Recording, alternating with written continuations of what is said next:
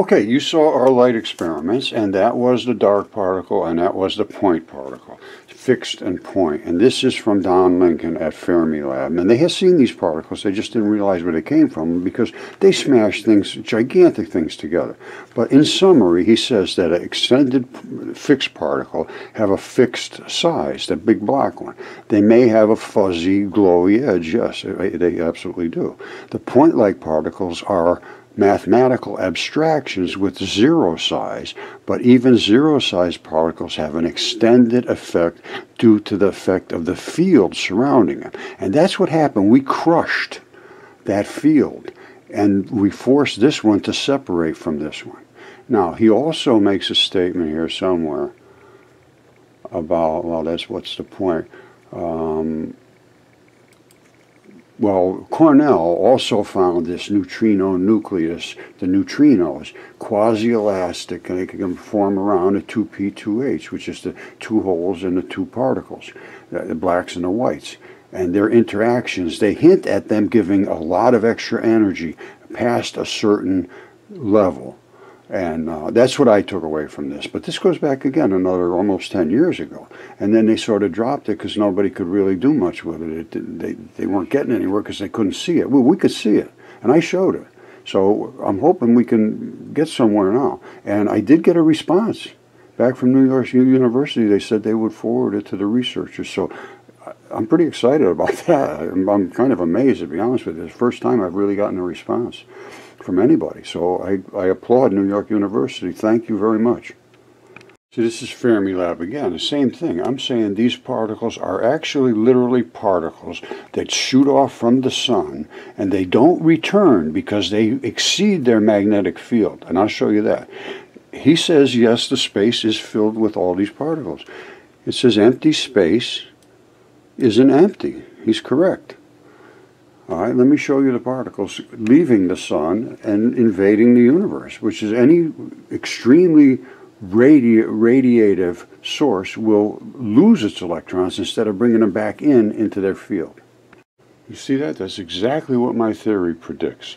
This is in outer space, and during this experiment, they contacted the guys on Earth who couldn't believe it either. They made this, it made a black hole. It is pushing the dark matter, the dark energy, to the center, and the glowy little particles are going boom, boom, boom, boom, boom, boom, and crushing it into there and actually just pushing it into the center. That's what a, a black hole is.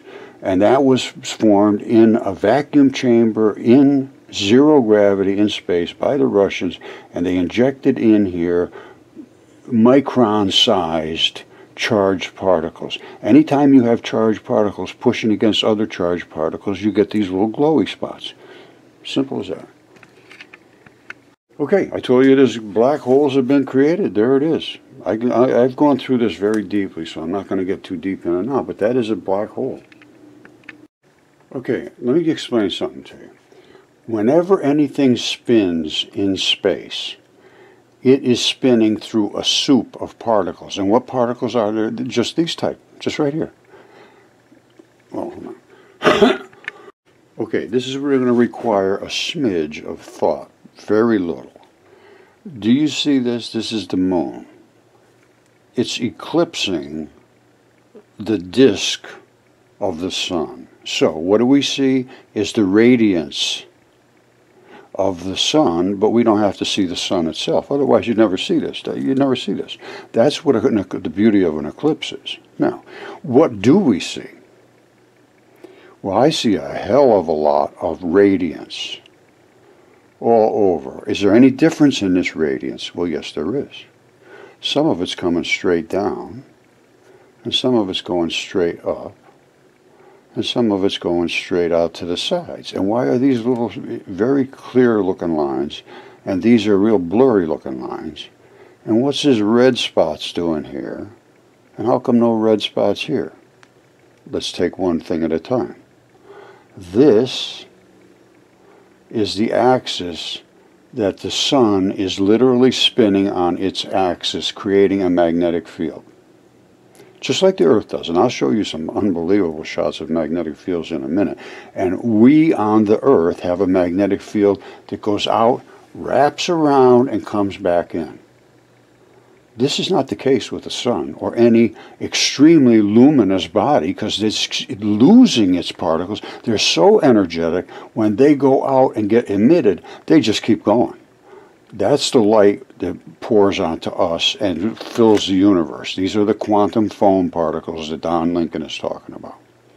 So here we have the axis of the sun it's spinning because anything spinning makes a magnetic field. Because this is all magnetic particles.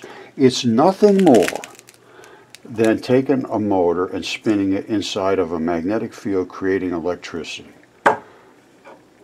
There's magnets in a, in a motor or a magnetic field is created. Then you have other magnetic particles in here that push and shove against those magnetic particles. That's what a motor's made out of. And this is nothing more than a motor, because here's our magnetic particles spinning.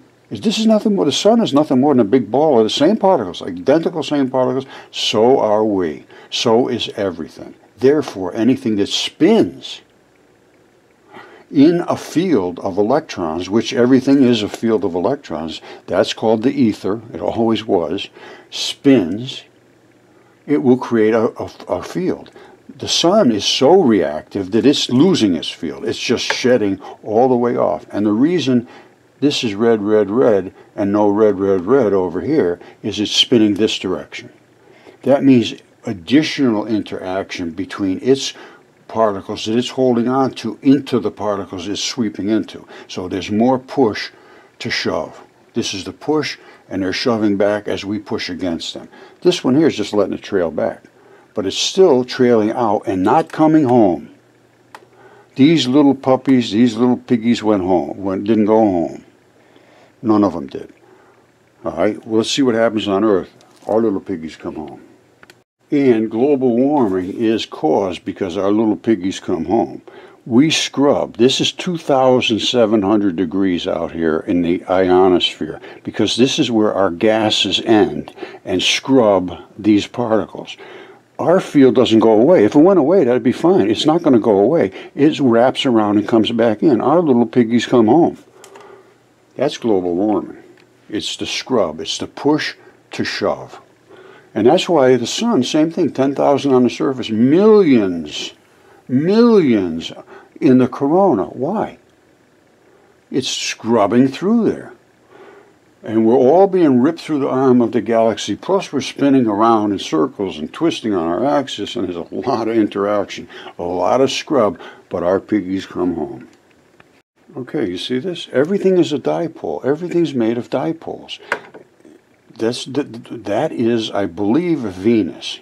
And the reason is it has a double field. And I can explain that because Venus spins backwards, so it has two interactions very, very, and it's energetic and hotter than hell, which is exactly the signature of this extreme glow.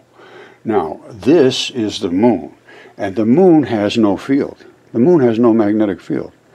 You see all these overlapping fields overlapping on the top of it? You know why the moon has no field? And all these other ones are, are dipoles? This is not a dipole.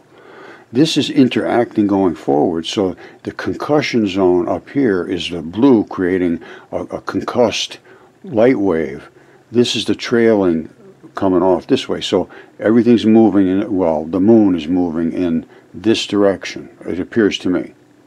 However, there is no spin to the moon, so it creates no field. If you don't spin, if you just move through and there's no spin, there's no field. But everything will spin because of its interaction with the other particles. When they're, we are held to the moon by an extreme lock, which doesn't allow the moon to spin by itself. And I can show you another one here that proves it quite well, that that is not, uh, is it? No, wait a minute. This is it right here. You see that? That's not the, the moon's field. There's no field there. That's the overlap of this field impressing itself on the moon. Now, the moon does have some kind of activity going on here. I'm not sure what. Or it could just simply be because of the concussion here. But there's other things out here that I absolutely cannot explain.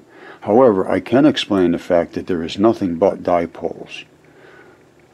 When they spin, they create a dipole. If they don't spin, they don't really create a dipole. And that's why the sun, I mean, the uh, moon doesn't spin. That's not its own field. All of our fields go out and they come back in. So this is, I think, probably uh, a planet behind here, whatever. It's making its own field and coming back. Now the sun, as you saw, instead of its little piggies go and they don't come home. These little piggies go and they come back. That's why we're overheating. It's not because of carbon in the air.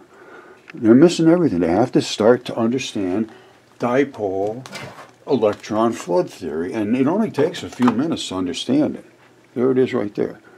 So I'm hoping we can interact. I would, like I say, I, I, don't know if I mentioned this, but I did get a response right almost instantly from New York University that they're going to forward my information to their researchers, which, you know, if I hear back from them, I'm going to be really thrilled. And I hope I can work with them. That's all I want to do is make this known so it can be looked into deeper because you're never going to get anywhere trying to stay with the standard model. It's not going to work. It never did work. And if anybody gives it any deep thought, and I really did, trust me, I did seven, uh, in 1970. Uh, I, I just got out of the Army from Nike Hercules missiles, and um, I was going to go deeply into this because it was just really starting to get explored. However, the pushback was so incredible, and it still is to this day. And that's why Velikovsky was destroyed too. That's a whole other issue that I, I want resolved because he was the one in history. He he did a, he was absolutely incredible in his research and was crushed. So that I want resolved as well. Let's fix everything at once. Why not?